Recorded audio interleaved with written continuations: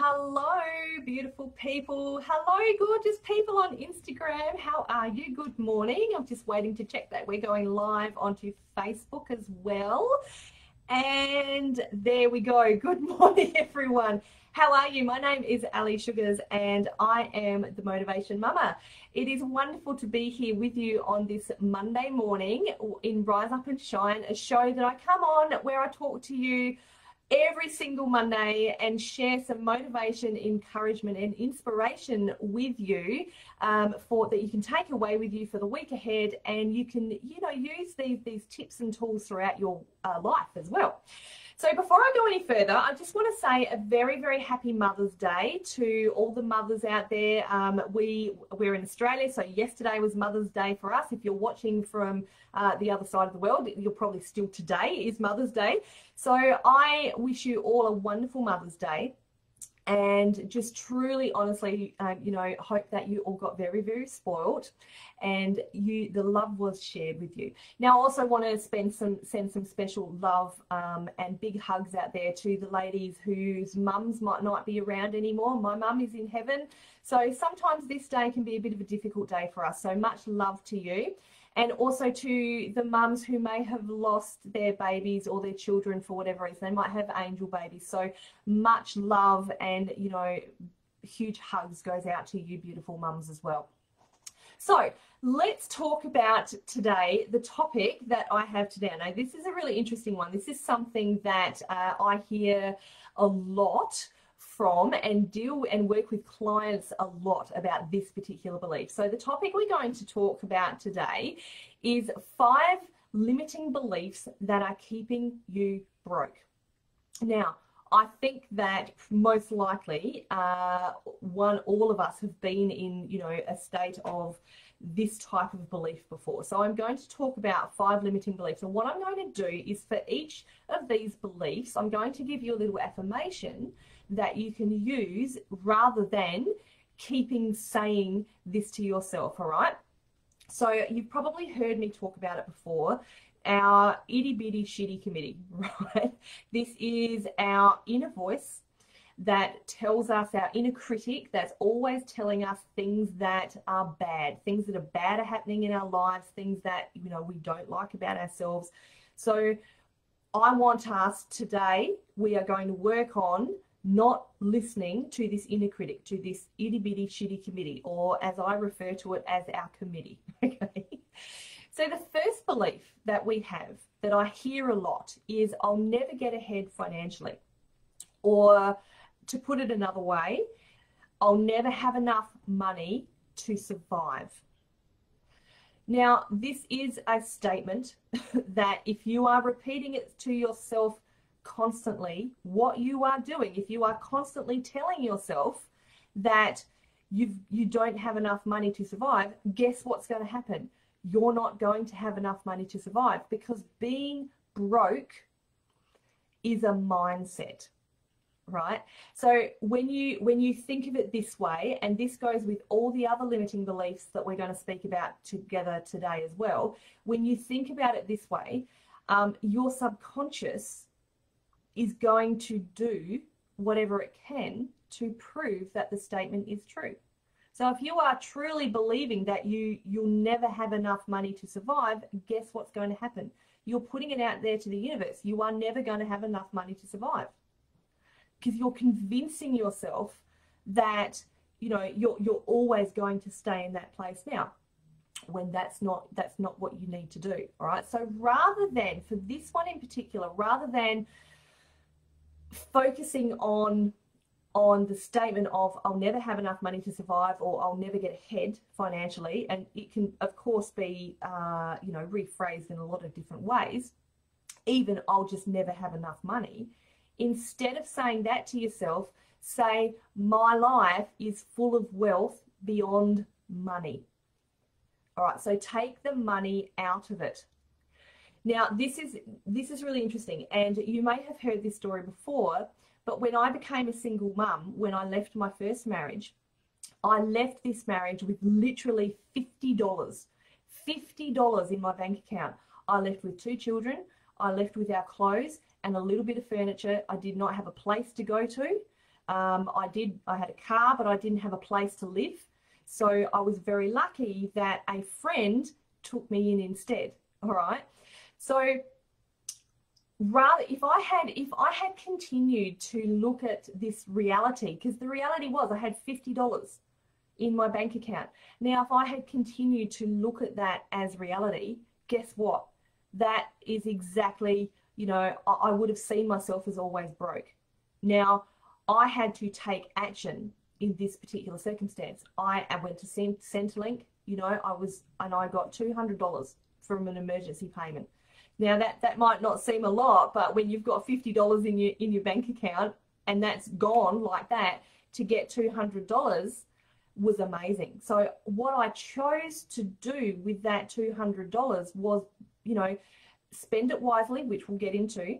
But I also um, chose to be really grateful for that two hundred dollars. It was like, oh, thank you you know and i made and from memory this is this is like 20 years ago now but from memory i literally made that $200 last about four weeks it was amazing so rather than maybe telling yourself that you're always broke or you'll never have enough money say to yourself my life is full of wealth beyond money. So I chose to be grateful for the money that I did have. I chose to be grateful for the beautiful friend that took me into her house. I was grateful for my parents who helped um, take me out of that relationship. I was grateful for the fact that we were able to leave with what we did. So you know, it, it's it's really all in in how you choose to look at it. Okay, we're going to talk about that a lot today. So I really want you to know if you if you are having this limiting belief, I'll never have enough money to survive. I want you to start pointing out to yourself and thinking about all the other ways that you are wealthy instead. All right. So the second one I hear a lot is money is the root of all evil. Now I hear this a lot. Now I have been brought up in the church. So this is something that I have, you know, I've kind of almost been brought up with this belief. But let me ask you this, why? Why is money evil? Because what money is is energy. Everything around us, including money, was created from a thought, was created from energy, and this includes money, right? Now, it doesn't matter how you believe the earth was created, that nature out there was created from energy. Every single thing around you was originally a thought pattern, was originally any energy, and someone has gone out and created it. And again, this includes money. So you can choose with this energy, what you can now choose is to see it as positive energy or negative energy. So, how do you choose to see it? Is it really evil? The reality is that we all need money, right? As I said, I had $50 when I left my first marriage, but I needed money to be able to live, to be able to raise my children, to be able to feed my children, house my children, um, school my children, all of that, you know. The reality is that we do need money to live. So if you're telling yourself that money is evil, every single time that money comes to you, even though you need it, what you are essentially telling yourself is that basically the way it's coming to you is evil as well. So, is having a job evil? No, because we need jobs to earn our finances, right? Is receiving a financial gift from someone else is that evil? I don't believe it is. No, because what this is, in this instance, when someone gives you a financial gift, you know, they are wanting to give this to you to share the love with you. You know, it's a gift. So how how is a gift from love evil? You know, someone wants to help you out. They're giving you your they're, they're giving you this financial gift. And and if it's bigger, if it's small, whatever, it doesn't matter. But how is that evil? I truly, truly don't believe money is evil at all. So instead of seeing it as evil, see it as for what it is. If people are gifting you money, see it as for a gift and be grateful for it. You know, be grateful for the way that money has come to you. So instead of telling yourself, instead of this limiting belief of money is evil or money is the root of all evil, however you want to phrase it, you can instead say to yourself, my money is a positive tool that helps me live the life that I desire and that I deserve. So I want to read that again to you. My money is a positive tool that helps me live the life that I desire and that I deserve. It's beautiful. I love that.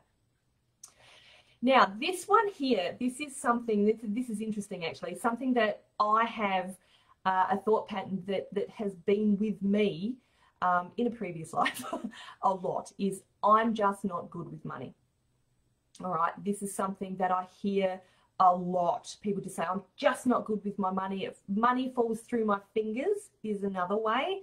I will hear this one uh, stated a lot. So, with this one, we really need to get real here, okay? We need to look at money versus money in versus money that goes out. Let's look at it logically. How are you working with the money that you actually have? This is a choice that we make.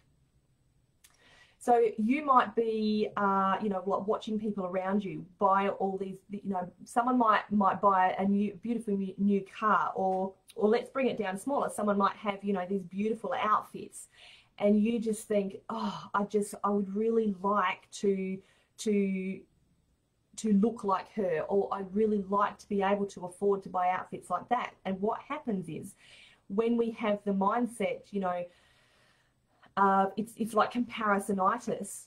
We can often go and buy things that we don't really need, um, you know, and this is the being responsible with money because we feel like we have to, you know, compete or, or be up there with the status quo. When is that really true? Do we really need to be? You know, we've talked a lot about this show on about accepting yourself just as you are, the perfectly imperfect you. I say this a lot. And this we can do this the same with money. So here I want to ask yourself, I want you to ask yourself, are you spending responsibly? Or when you go to spend this money, do you really need, you know, do you really need to make that purchase that you're about to make? Or can you put it to use somewhere else? Or can you just save it? Can you just leave it in the bank account for a little while? You know, saving's not evil because money is not evil. So your actions in this time, your actions are creating your reality. All right. If you are if you are spending irresponsibly, you are creating that that act that reality for yourself. So take responsibility for what you're doing. Now, here I want to say that my dad is a bookkeeper, or he was before he retired. He was a bookkeeper, right? So I'm very I'm lucky to have had uh, a lot of very very good financial advice all my life. Now, does this make me perfect? Oh, hell no. I have been kind of totally the opposite to perfect a lot when it comes to money. Okay.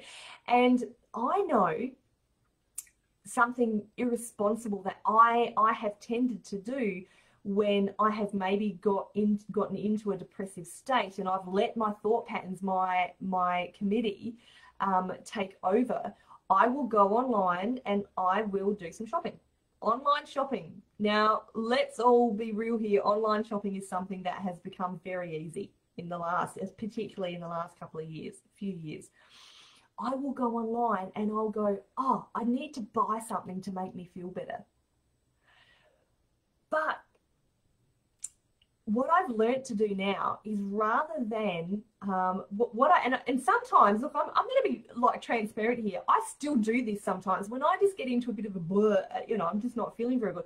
I will automatically go online. I'll find an online shop. I have my favorites, and I will go and I'll think, I would like that. I would like that. I would like that, and I will fill my cart with stuff.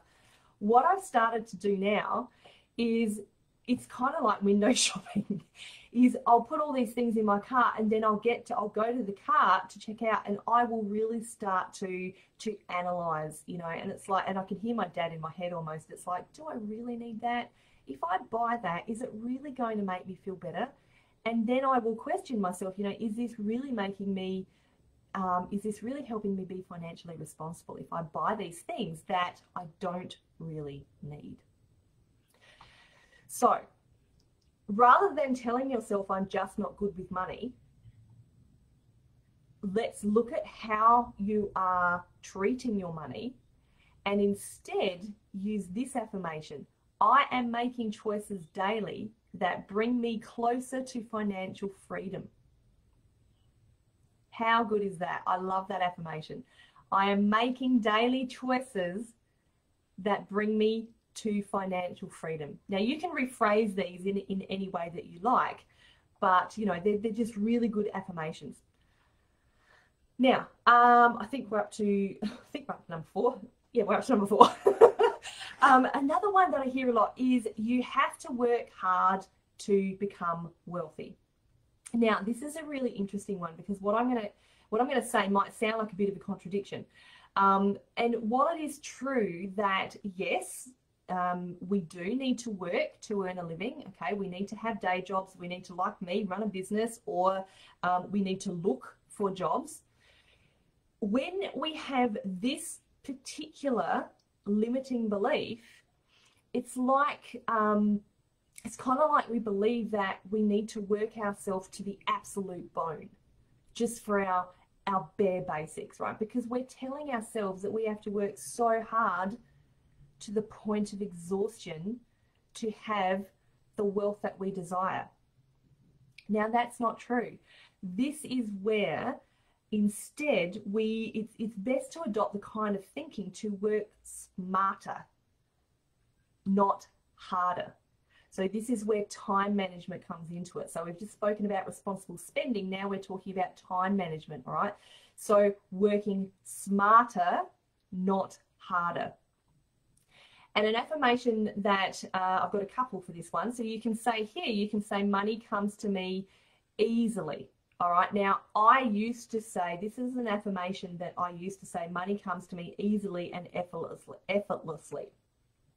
Now, I took the effortlessly out of it because I truly, because, and I've seen this happen, is a lot of people will just think that money is going to fall into the lap. You know, they're just going to be able to sit back, do nothing, and money's going to come to you. Now, the reality is that that's not true. All right. So, money comes to you, if you say the affirmation, money comes to you easily, you know, and you put this idea of working smarter, not harder, into action, it will. And remember here, you know, money is energy. So the energy that, you, and this is where the kind of the contradiction comes into it, the energy that you put in is what will come back to you. Now, again, I'm going to rephrase here is that when you are, um, you know, this is working smarter, not harder. This doesn't mean that you've got to put so much energy into earning money that, you know, that you are going to just be totally exhausted and that means that energy is going to come back to you. You know, what it means is the, how do I put it? So it's like the, the smarter you work, the smarter the money is going to become. That doesn't even make sense, but I know what I'm trying to say, right? Um, and, and you know this i run a business so this is this is something that um, i i have to repeat to myself all the time because running a business is not an easy thing to do you know. And i have had to very much step into the space of working smarter not harder. I've had weeks where, you know, and my partner Craig will attest to this that I have I've had have had weeks where I have worked for about 70 hours a week to the point of exhaustion, but it's got me nowhere. Instead, when I have sat back and I've kind of put into place all these systems that are going to help me work smarter, this is when um, taking that positive action and putting that out there into the universe has come back to me. So I hope that makes sense. I don't I don't quite know that I got that one across the way I wanted to. But another affirmation you can use here, you know, instead of I have to work hard to become wealthy is my life is full of wealth beyond money. So again, same as the first one, you are already looking at yourself as wealthy. And it might not be in the way of finances, but it will translate into that because what you're putting out there is what comes back to you. Oh, pardon me. So the last one is I don't deserve money. This is the one I hear the most. Now, you know, this this is simply not true. Everyone, everyone deserves money, all right? And I'm going to say to you too that if you have this belief around finances, if you have a belief that, you know, you don't deserve money, it's highly likely that you also are translating this belief into other areas of your life as well. So you might think that, you know, you don't deserve to be happy. You might be telling yourself you don't deserve to love or to be loved.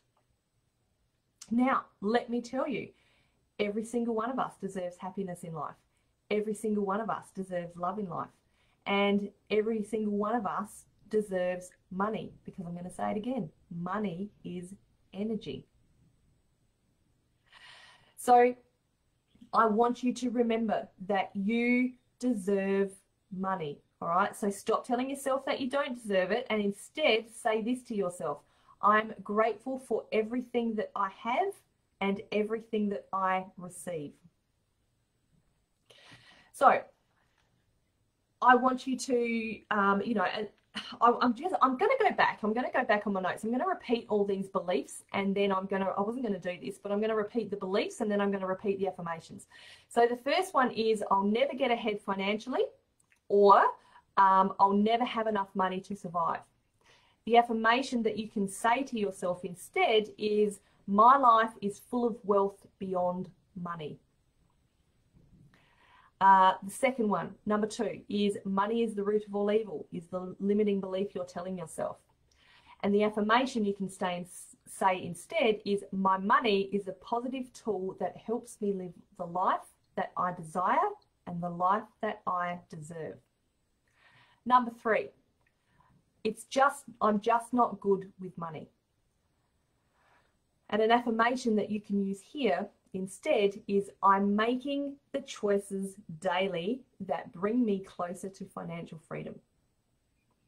Number four, the limiting belief is you have to work hard to become wealthy.